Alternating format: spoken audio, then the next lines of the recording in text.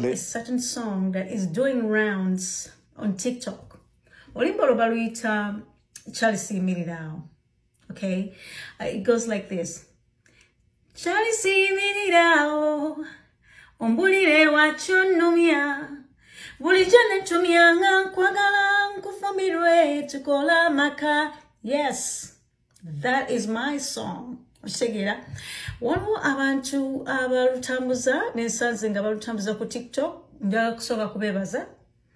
Uh, emboozi teba nkadde emboozi teba charles nkugambye yimirirawo one of the uh, songs that is trending on tiktok. People have used it like a challenge. People have used it to uh, to push their marketing strategies. Oh my god i have one line and i normally say when jesus says yes nobody nobody can come out to say no. And i have say i have one say uh, in my lines. Uh, it goes as well. When it is your time you shall shine. When it is your time, shout outs to people who are always here for the gist. Shout outs to people who are always calling your friends, family to subscribe, and of course, letting them know that this is the biggest TV on YouTube. Yeah.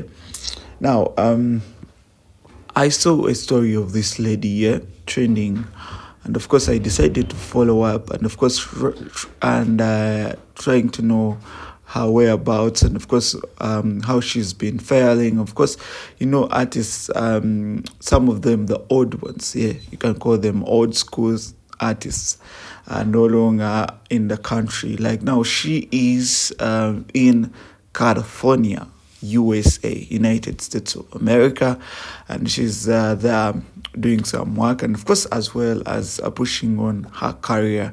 Now, this song was was released in 1999. I was four, three years. Yes, yeah.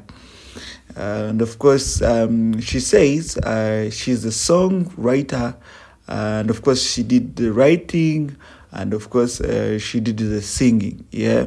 So anyone who wants to take all rights please respect her. She goes by the names of Zani Lady C.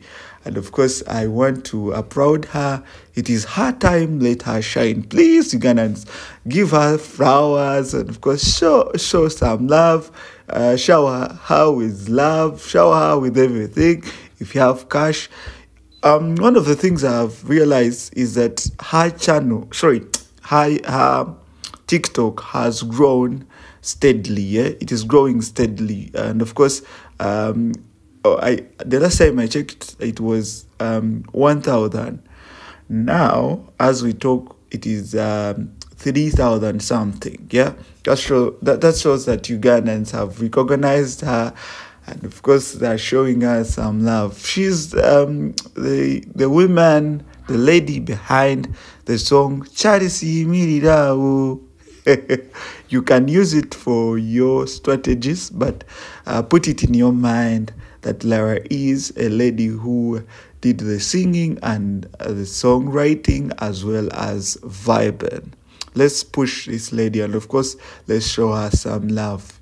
That's than Lady C. She came out to say the song is hers, and of course, uh, anyone who um, who uh, decides to uh, to use it in a long way is, is going to be punished. Yeah, I don't know how, but anyway, um, keep subscribing. My name is MC Badio.